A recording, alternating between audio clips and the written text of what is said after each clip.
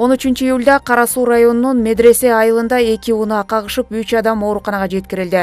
Ош облустук жол кыймылынын коопсуздугун камсыздоо бөлүмүнөн билдиргендей кырсык саат он сегиз отуздар чамасында болгон. Анда кара суу районунун бир миң тогуз жүз токсон үчүнчү жылы туулган тургуну хендай портер үлгүсүндөгү унаасы менен айланма жолдон негизги жолго чыкканда мерседес бенц үлгүсүндөгү унаасы менен кагышкан.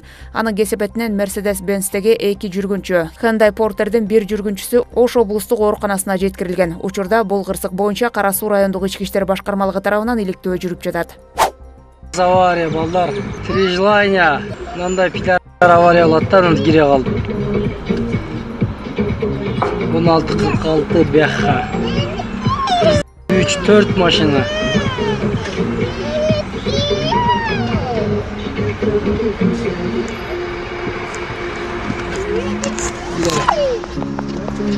веселый молочник дейт